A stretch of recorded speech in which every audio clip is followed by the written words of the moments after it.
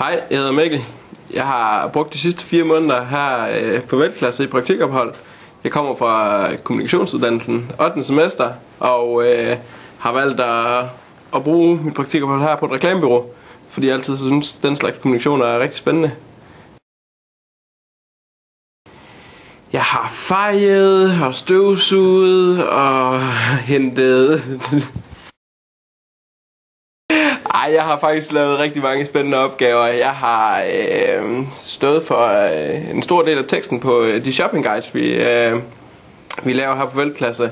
Og øh, jeg har lavet annoncer, jeg har været med til at konceptudvikle, jeg har været med til at finde på navne og finde på idéer til forskellige firmaer og, der, og deres øh, koncepter. Så har jeg skrevet en forfærdelig masse tekst. Det er jo det, vi laver også kommunikationsfolk. Og øh, det har været rigtig spændende. Så har jeg lært, hvordan man lurer ud i tekster. Hvordan man får øh, 70 ord til at fylde 15 med Michaels fantastiske udlugningskursus.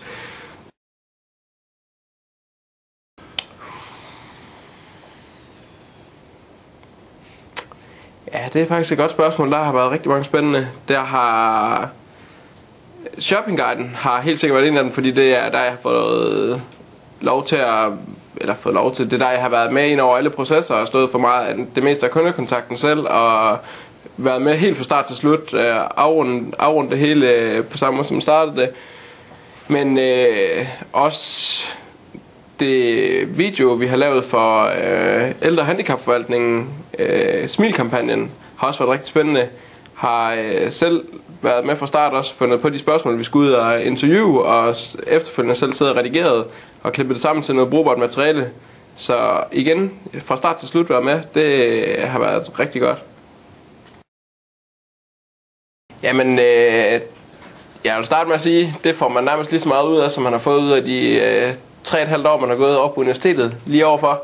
Så det er først og fremmest en god idé. Øhm, ellers så får man ud af, at man får lov til at have, have fingrene ned i, i det, man laver. Får lov at være i kontakt med den virkelige verden. Får lov at virkelig fagprøve de ting, som vi har lært teori om derovre. Og der, altså, desuden får man lige et reality check om, hvad det egentlig er, der kan bruges, og øh, hvad der kun fungerer inden for de akademiske rammer.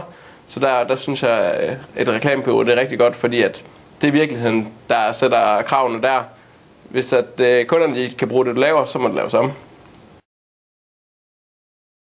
Ja, det vil jeg helt sikkert anbefale, og øh, det kan jeg gøre. Øh, det kan jeg opfordre alle til, for det har jeg simpelthen fået så meget ud af. Og jeg tror, jeg har fået mere ud af det, end hvis at man kommer i praktik mange, andre, mange andre steder, fordi at man får lov at arbejde med så meget forskelligt. Der er hele tiden forskellige opgaver, og man får lov at afprøve sine kundskaber med rigtig, rigtig mange forskellige ting.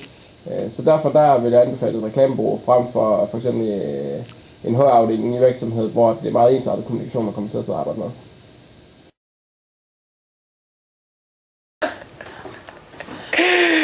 Øh, det har Linde. Yes! Og Maria,